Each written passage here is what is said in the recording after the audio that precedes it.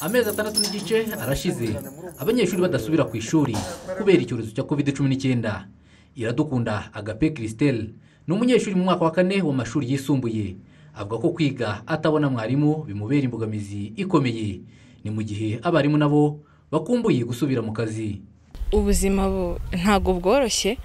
Kuko ntabwo turi kubonana ntabwo tubonana na mwarimu cyangwa se ngo twige mu buryo twigaga ngo tugire igihe ngo turuhuke cyangwa twige nyine dufata ibitabo twandika ku kibaho. Ubuzima bwarahindutse ntabwo turi kubonana na mwarimu ntabwo tubonana na mwarimu ni ukwiyigisha niko batubwiye tugomba kwigisha tukanakurikirana n'amasomo ku maradiyo.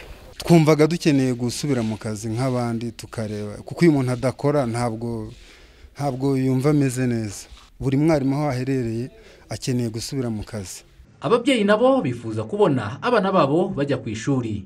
Ariko iyo umwana ari ku ishuri uba uzi yuko hari ikintu ari kunguka.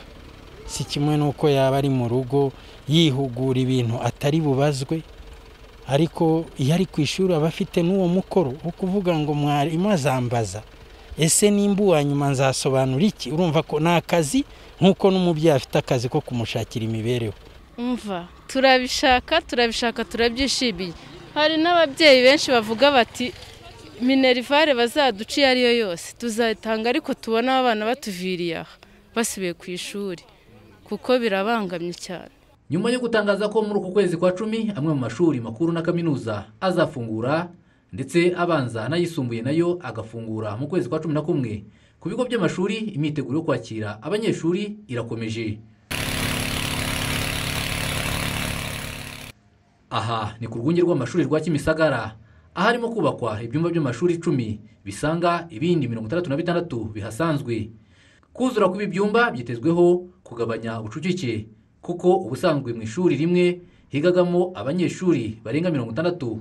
Ariko ibi byumba nibirangira ishuri rizaba rishobora kwigirwamo n'abagera kuri mirongo ine na batanu. Kubaka aho abanyeshuri bazajya bakarabira intoki na byo bigeze ku musozo.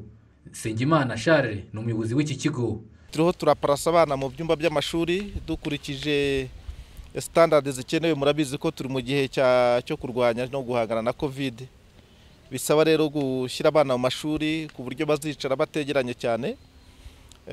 Ibyo na byo twabirangije ibindi turiho turakora amasuku turubaka ibyumba by'amashuri kugira ngo turebe ko abana bazatangira buri kimwe cyose kiri ku murongo. Ntabwo rero twicaye ntabwo twicaye turimo nanone turareba ese mu gihe abana bazaba baje tubiteguye gute ku buryo tuzabarinda? Ku buryo abantu abarimu bazabana gute n'abana?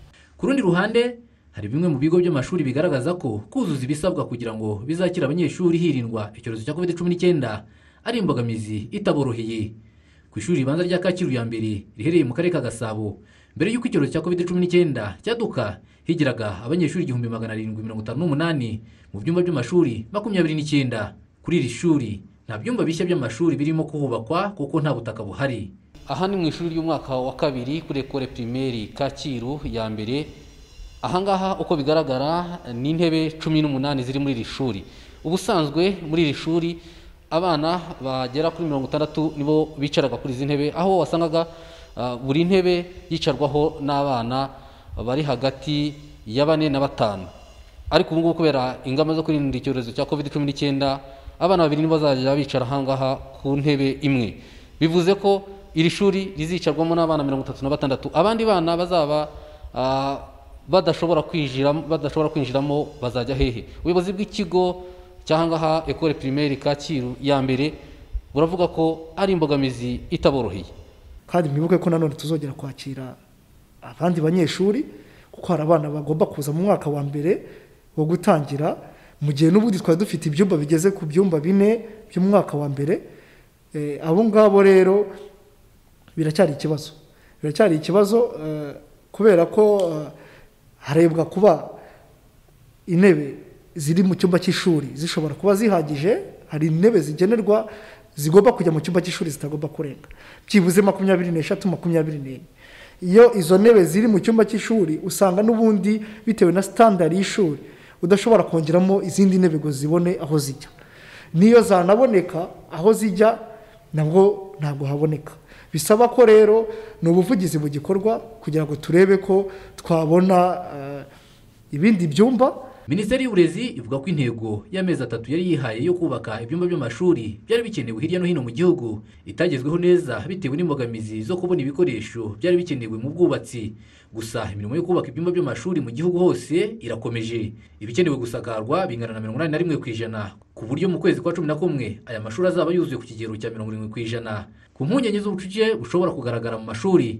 Minisitiri w'uburezi dr. Valentine uwamariya avuga ko hari amashuri magana atandatu n'umunani mashya arimo kubakwa. Nagira ngo mbabwire ko muri iyi gahunda yo kubaka uh, ibyumba bishya by'amashuri harimo n'amashuri magana atandatu n'umunani mashyashya. Bivuze ngo ayo mashuri na yo agomba kubona abanyeshuri.